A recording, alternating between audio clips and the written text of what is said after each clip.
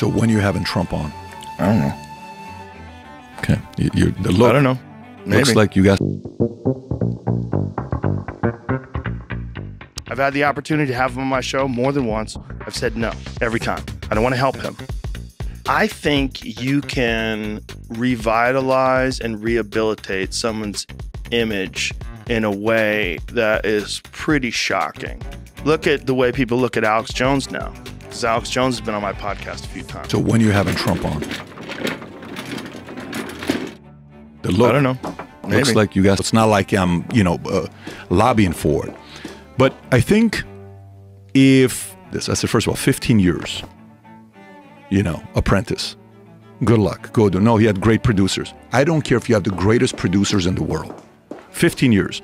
Book. How many years does Art of the Deal does? Well, yeah, but Pat, imagine if you started with 430 million dollars. I'm willing to make the case that you are more likely to screw up your life if your family gives you money.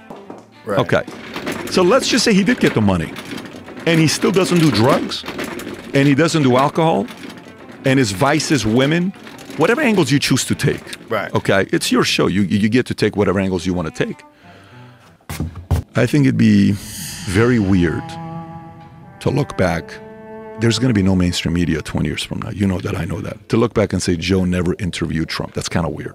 I, I would say if you don't do the podcast with him, you're helping the establishment and you're helping a guy named Joseph Biden. I think you're helping that person. That's kind of weird. Hmm. But indirectly in your mind, you're helping Joseph Biden win. No one's here with a motive. The motive is as a friend, as a guy that's in the same space as you, and you're the Michael, you're the Brady of the space. I'm encouraging Michael and Brady to consider this. That's it. Okay. Yeah. I'll consider it. Yeah. I, if you, I love you. No, I don't want you to think. I don't want you to think there is a motive in No, something that this I person don't wants from you. Yeah. I don't think that.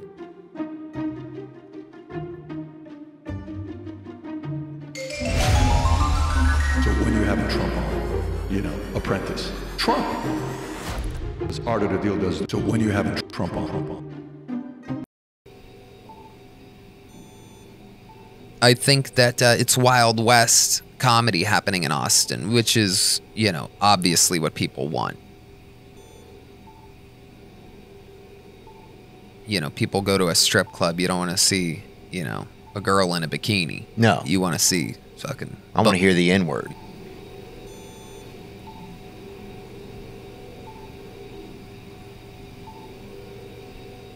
You're damn right. Yeah. See some buttholes. Yeah, I want to see. Yeah, Some misplaced ingrown hairs Some and things like that. yeah, I want to see it all. Mm-hmm. when you shoot and you release an arrow, it's got all this force coming off of that string, Ring, right? And that's what's causing it to wiggle. Like as the nock releases and then the arrow releases from the bow, it's gonna wiggle. Hunting is this intense. It's very spiritual in a way. I mean, mm. people don't get it because they see you celebrating when it's over because it's very, very, very difficult to close in on a wild animal What are you hunting? mostly elk. Well, elk's my favorite for two reasons. One, it's very delicious, super nutritious. Also, if I shoot one elk, I can eat it for like eight months. Now, the thing is with me, I see that elk there and Yeah. I sort of feel like a sort of, I've watched too much Disney. Yeah. Um, you know, like I see that elk and I feel like I'm Bambi, literally. Mm-hmm. You know, and I, I, like I don't have it, it. Like, is that early in the morning? You look Yeah. tired. Not tired. Might you know. be late afternoon, actually. Can you I tell think that was late afternoon. Yeah.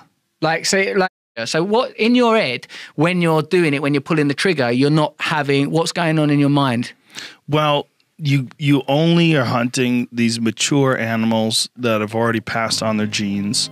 You also are recognizing that if you're not killing these things, they're not. It's not like they're going to live forever. They, Right. They are. They live a short life, a short life with a very violent death. It's either wolves or mountain lions or bears or something's going to take them out. Yeah.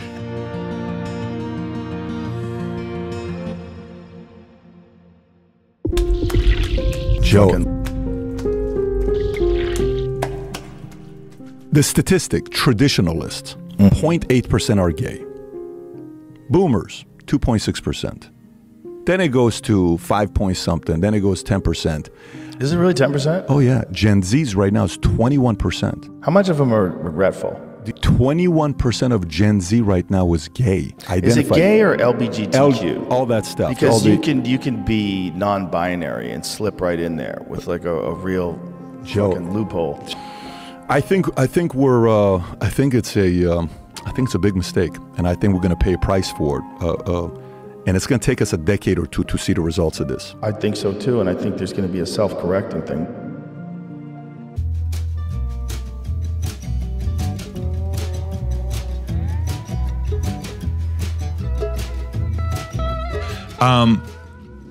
The idea about I don't want to help him has to be replaced, in my opinion.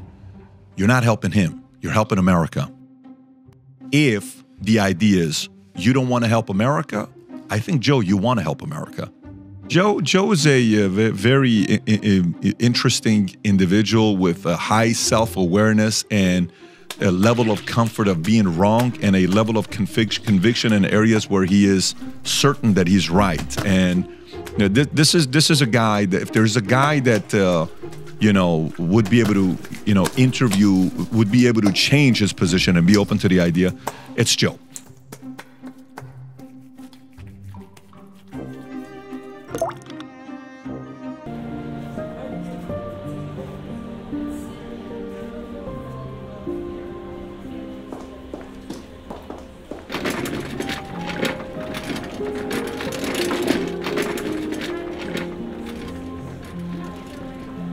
Huge fan of Bobby Lee. He should be on Yes, this podcast. I love Bobby Lee. I saw he was on your show.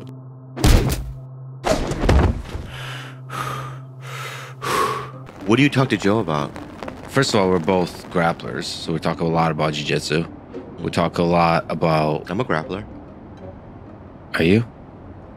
I was on the wrestling team in high school. Yeah, I know. I know this. Is I, that a grappler that to you that if I don't know jujitsu, is, is there only one kind of grappling that you like? Yeah, there's levels to this game. I think. Oh. I just talked out. No, no, no. There's nothing more. po- Yeah. There's no.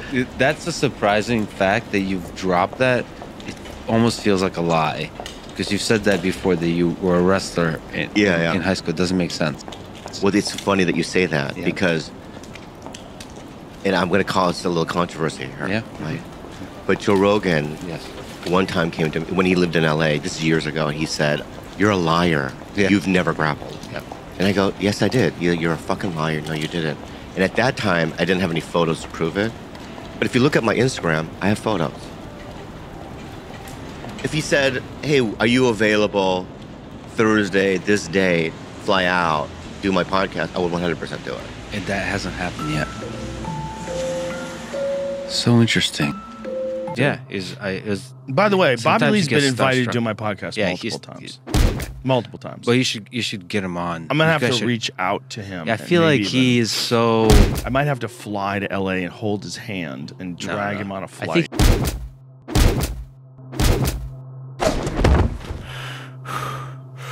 I think he just needs a real invitation. He's been uh, doing the same material for so long. But there's also a natural uniqueness to his comedy. Bobby Lee is uh he's a unique case. Yeah, so definitely it would be an amazing uh, podcast to have with him to, to be on your show. But He was Yeah. great on yours. yeah, I've known Bobby Lee for 20 plus years. Yeah. He's never put out a comedy special. I couldn't get enough of it. That was like my that was my that was my like thing. I switched from like police interrogation videos to like following the Schaub and Bobby Lee thing for a while. It's on my YouTube algorithms just filled with Bobby Lee, Brendan Schaub, Khalyla.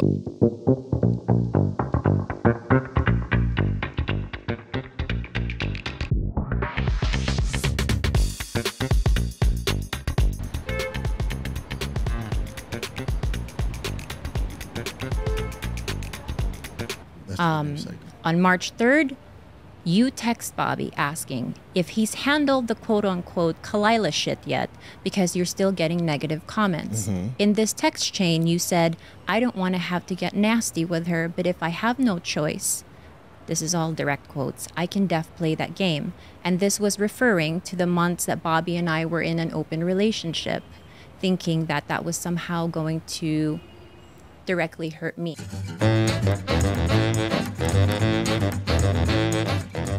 You think you have a one over me? I fucking dare you, motherfucker. I dare you. Let it out of your chest because that is actually not a real threat. You think you're threatening me, but it's kind of that information's already out there, you little bitch. Yeah, I, I, obviously, obviously, I mean, it's like you know, the open relationship. You and I, we we were. That's not for the pu- was for the. We even For talked about it. It's not for the public consumption, right? Because it was delicate. It was a delicate thing. he was right? also we were going back on drugs.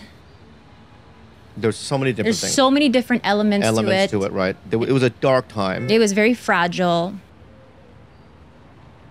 the information I got, that open relationship, uh, th- that's not a. It's not like anybody did a crime. That that's not really breaking news. I can't hold that over your head.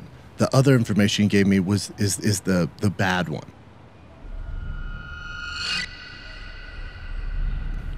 Which I don't want to get into.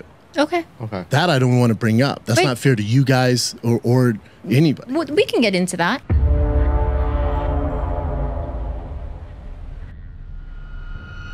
Wait, what is that other thing? Yeah, we can get into that.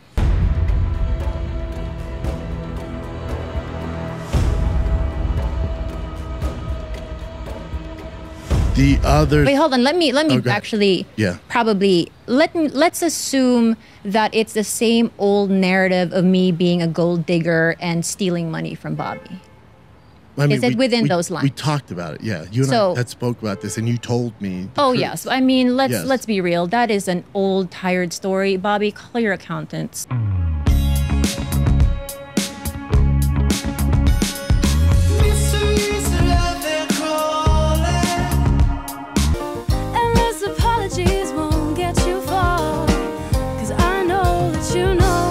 What was said was that there was a guy. He was unfunny.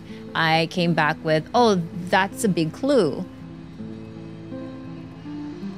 And then, But my thing with that, Clyde, do you think that's nice? oh no. Mm. But I didn't say your name.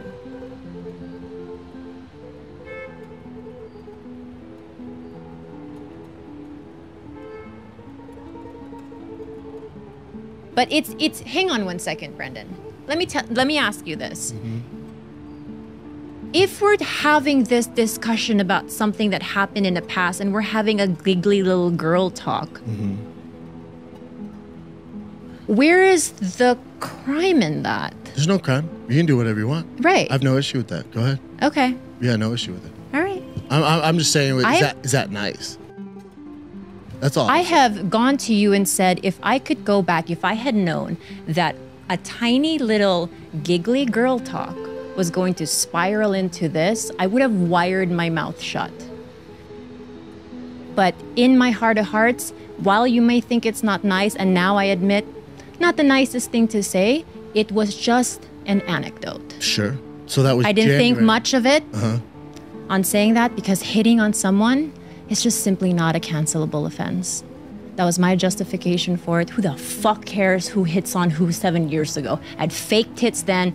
They were shiny. You liked them. You DM'd me. You said sorry. Fuck it. like I know. weird. Um, because I can't. I There's just- some. Sometimes I'm on one thing, and then sometimes I'm like, maybe they did do that. like it like switches quickly. It's like if you're talking to, you know, your gun-toting friend, and uh, then all of a sudden you're with your liberal. Well, if there were no guns and this happened, you're like, sometimes you can see both sides of the argument. yeah. I'm like, well, I mean, Brendan, you know, you it- some, you know, hate happens to people. People are jealous. You know, you're a fighter turned comedian, and then all of a sudden, I saw one clip where Khalyla's like, "Yeah, I'm a lot better at the internet than people think, and I'll destroy someone." It's like from an episode years earlier, and like, I'm like, "Whoa!" What I would guess the dialogue is behind the scenes is a lot of those guys don't like me, like the Joe Rogan and all those guys. Like Brendan said, uh, mutual friends of mine say that he's just a drama, he just causes drama, and that's what he does. So I think they're probably like Bobby went on this drama podcast and started all this shit. And someone like Joe Rogan would be like, it's so trashy that he went on there and aired the dirty laundry. But that's what it is, right? It's a boys' club. It's all fucking toxic shit show. The reality is, none of it really matters. It does not. Nothing It, this is not going. They have zero power over your career. Absolutely zero. They have minus power. Because they're using you to try to control what, Right. what Khalyla's doing. Right, right. He didn't just tell us about the Reddit thing. He was telling Rogan. He was telling Whitney. He Who would believe that? Though it seems insane. Who knows? But I'm yeah, just but saying, he's saying like, he's telling people shit. He's telling other people that this is what you did. This is what our company did, and that is to me That's like nuts. you know, it's like a fucking soap show. It- it- they want Yeah. this drama. There's no drama. Like Bobby Lee is one of my closest friends. I, me and Bobby talk all. No one's been more supportive when I started than Bobby Lee, dude. They, they said that you had like some dirt on her or something like I that. have, like, I have no dirt. I, don't- I don't know. So like, where- me, me and her don't know each other that well. they're making this up or what? Yeah, but when it comes to Khalyla, it's like I don't know. Again, I don't. I don't subscribe to social media. So if she's getting that news, Yeah. and she subscribes to it, I would be upset too, and that's why I told her. See, I'm like, I yeah. get it. So I mean, you know, some stuff you don't have to tell the public. What uh there's such a world now with podcasting. There's also like this soap opera undercurrent of all of it, you yeah, know? I don't play it. You you would think Kill Tony would be a big poker and like I get it, people like drama, but I don't want. I, I've always looked at it like if you play that game, those are the types of fans you're gonna get. Ethan Klein show does Yeah. that a lot. Yeah. I noticed they get a lot more like but it's it, he's he does a great show. Yeah. And Ethan's a you know, we've had some great conversations, man. He's an extremely deep guy. Um, there's there's just so much podcasting. It's it's really its own it's its own I mean, it's a huge world now. Yeah. With layers and like there's like people making like vi- like reviewing po- like reviewing clips and things that have happened. It's it's gotten pretty deep, man. Oh yeah, Um, there's people reviewing those people's Yeah. review shows and stealing their ideas and doing rip-offs of their shows and like you know what I mean? Like it's like they're reviewing the review. I used to go every night and shoplift two steaks. I would buy salami, and I would take two T-bone steaks and put them in my winter jacket. And I cut the salami and cut lettuce, and put salami, tomatoes, and lettuce, and I'd make like a Genoa salad with vinegar and oil, and we'd just make fucking T-bone steaks. I'd steal those nice T, like those ten dollar T-bones. Back in the day, a ten dollar T-bone that was big time. I was a one man fucking wrecking crew, and I loved it. I think it was the last time I was on. We were talking about defunding the police. Yeah. And and you you, you talk to police, and it's gnarly right now. Letting criminals out of prison, not locking anyone up. You can't. I mean, in San Francisco, what do they? Yeah. You can't get you can't get arrested if you steal less than nine hundred dollars worth of shit from the store. His name came up a lot, Rogan. Yeah. You know what I mean? As a threat, like we're gonna go to Rogan. Daddy we're Rogan. Bury you, right? Stupid asshole. And so when they use him, sorry, that's especially because I obviously love him, Yeah. Joe, and I um don't have any issues with him. And Yeah. we, in fact, I just saw him three weeks ago. We, it's, I love him. We Good. hug and we talk, and he's just been so supportive of me, uh, Joe. But when they use him, right, um, as a threat, it's kind of like because he has such a big audience, right? And it's like I don't know what you, You, know. think Joe is that stupid though that people can tell him, "Yo, you're not gonna have Bobby on"? Right. I don't think Joe. You think he got no, to no, where he got because he would that. listen to stuff like But that? but the fact that they go there, the you fact know, I that they get go there says a lot about them. Yeah. It doesn't say anything about Joe. You don't have to care about any of those fucking guys. Yeah. You don't care about shit because the job's gonna come. The fans are there. People are gonna buy tickets to your shows because you're fucking Bobby Lee. Yeah. And you're already a legend. Yeah. You've already uh you're already built yourself. You don't have to care about anything anymore. I don't do well with PTSD and trauma. You Well, have a lot of it. Which is fucked up because that's kind of you're not you don't hide that. You're open about a lot of the stuff you've been through. And especially considering all that, it's even more fucked up the way they came at you like that. It's just it's just fucked. it's and just that's why people like It's him do up, that, dude. right? Because not a lot of people will stand up and or wanna even go there. You know, a lot. It, it nobody wants to go through that. So he's doing it to silence you. And there is also something very slanderous happening.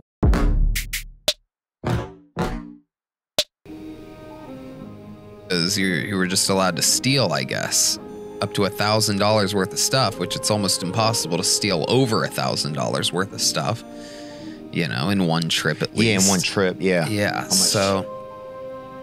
Yeah, people are out there being wild. Not everybody's, not everybody's thriving in these times. So, like, I mean, you have to ask yourself, what would we be doing? You know what I mean? If we had nothing and needed something, same thing. Yep, exactly. We'd be in there.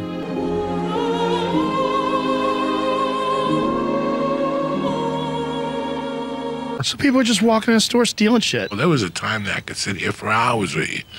Dog, I'm out on bail. And I'm fucking out on bail. Kidnapping. Out on bail for second degree kidnapping, second degree assault, you know. I'm I got the works thrown at me. And I'm fucking going into Sears every day and clipping 10 Bruce Springsteen double set CDs born in the USA. They're going for eighty dollars, whatever they were going for. Forty dollars. I'm getting twenty two a piece. I'm taking two a day. I'm walking with the small two twenty. I got a hundred for coke, fifty for weed, and fifty for lunch. That was it. That I wasn't gonna work when I'm out on bail. I'm just gonna go to Sears Roebuck every day and rob Born by the USA. They even had him right by the door. I didn't even have to do much work. And then on the way out, I just take a, four of them, put them in my shirt, and walk out. One day, Joe Rogan, I pick up like 10 of them because instead of four, why am I going to take four? It's like the guy says in Narcos, you're going to move a kilo? You might as well move two. You're going to move two? You might as well move five. You're going to move five? You might as well do 10. What's the difference? So instead of taking four boxes, I started taking like tens. Like I would walk out of there, Joe Rogan, like a CD fucking thing. And one day I walk out and I hear a guy go, Hey, you, stop right there. And I'm like, What are you talking about? He's like, Come back with those CDs. They're chasing me in Boulder. Mm-hmm. In the parking lot of Crossroads Mall, here I am getting chased. One security guard in a car and the other guy on foot. I could beat them both up, by the way. like I could beat them fuck oh, b- both of them, but I just can't have no problems. And I run up to the top of the road as I'm about to hit 28th Street. Boulder police is coming right at me, and I had to stop and give him a fake name and fucking, you know, here I am out on fucking bail. Were you addicted to it, to the thrill? I was addicted to snorting coke and getting my dick sucked. But do you think there was a little bit of an addiction to the thrill of stealing too? Oh, I loved all that shit. Because you loved all that, doing that shit later on with like lighters and shit. Oh, I love all that shit. If I'm not in trouble for something,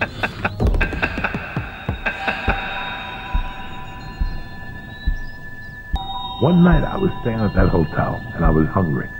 One afternoon, and I crossed the street to the gas station because that's how much money I had.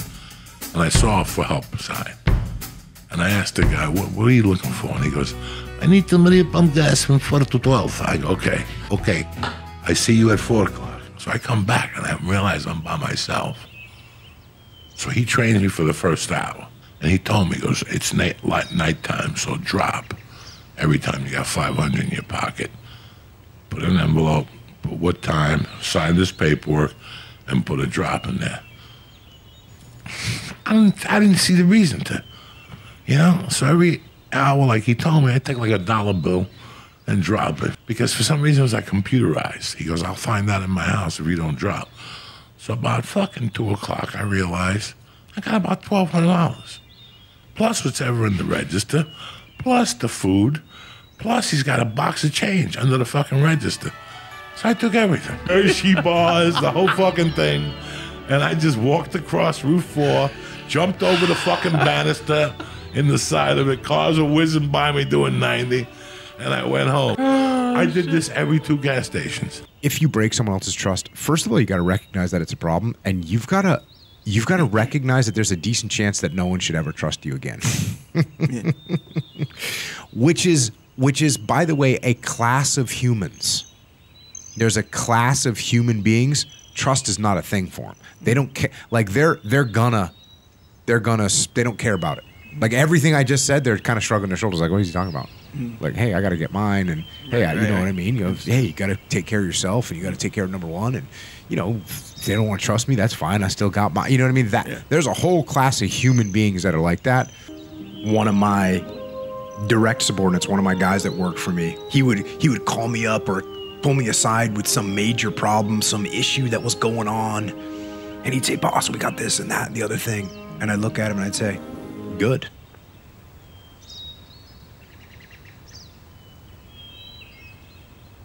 When I robbed that jewelry store with with uh, Marblehead that time, when I was running up the corner, I was looking at grand larceny. You know, I'm looking at theft. I'm looking at a thousand things. I'm looking basically at 12 and a half fucking years, or maybe eight years with good behavior. But I'm looking at time. My ears were ringing when I was running. A bullet wasn't going to stop me right there. Nothing was going to. I picked up those gold chains, from the back of the car, got in that back seat, and we took the fuck off when I uh, when I got in trouble in Boulder and I kidnapped Vela. When I walked into that house, that was the best adrenaline I ever had in my life. My ears were on fire. I mean, my body was just hot, hot. That's that's a fucking great feeling when you're on fucking fire. And I kicked the door in, and they had like a ceiling, and I just jumped up and pulled it down. With beams hanging, dust everywhere. When I walked out, I had dust all over my face, my shirt. I had ripped that fucking ceiling down. I fucking picked up that coke and I went in the car. You have no idea how I felt.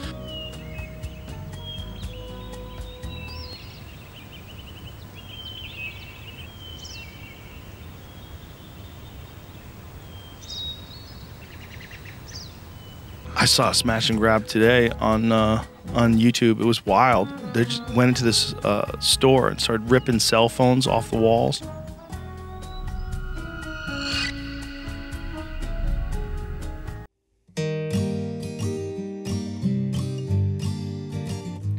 I feel like, and you see, cer- uh, it's just so many years of, of some people getting certain treatment, some people getting other treatment. You know, when you start to see that, like, there's just so much of like um, your politicians just, you know, glad handing with their buddies and giving these contracts.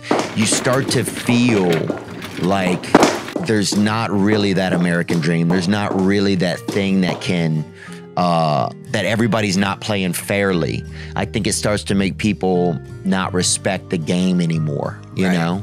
But you still have to sit there at the Monopoly board, but you know that they don't respect the game. And that's when you fucking turn the shoe in and you get that little cannon. And you just start fucking just hauling ass, bro. Just hanging out on Baltic, fucking blowing grams. I could tell it's been years since you played Monopoly. I think it has, Trading man. for a cannon. But it's like you just, you know. Baltic's the hood, by the way. You know, that's a rough neighborhood. It's Oh, purple. Baltic was gangster, dude. I would just get Baltic and to stay over there and fucking flex. just call people names when they pass through, oh, dude. hell yeah. Yell shit. Yep. was good. Baltic's over there with Mediterranean.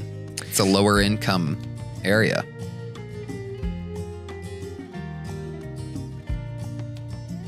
Did you ever smoke cigarettes? Oh yeah. Yeah. I used to smoke them, man. One time I got so depressed, I'd been seeing this gal, and she split up with me. Damn. And I smoked probably 33, 34 Newports in a row, laying on a uh, futon. No, it's a um, what's like a floating chair? It has like a little things on the end, kind of. You know what I'm talking about? A floating chair, the one you put in the pool?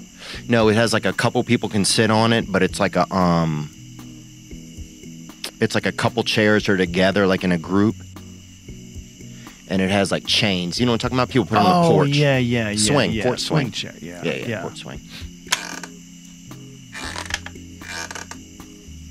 You just drank, smoked Newports, try to get over this lady. Yeah, they just, yeah, they just. I felt like it was helping my spirit. What happened with her? Mm, she caught me running around on her, and I was doing it too. Well, women, So it was m- women get upset about that. Yeah, they do, huh? They do.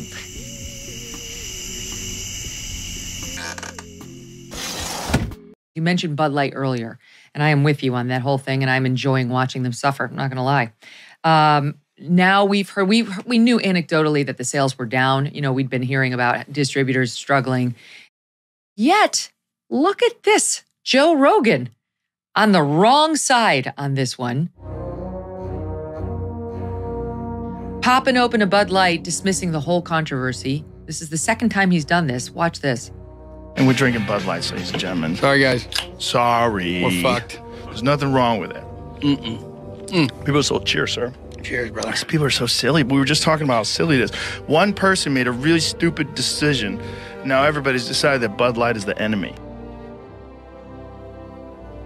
Not, not Totally getting it. wrong. And most of us wouldn't be caught dead having a Bud Light now for very good reason. It endorses a whole set of values that we do not support. We do not support. We do not support.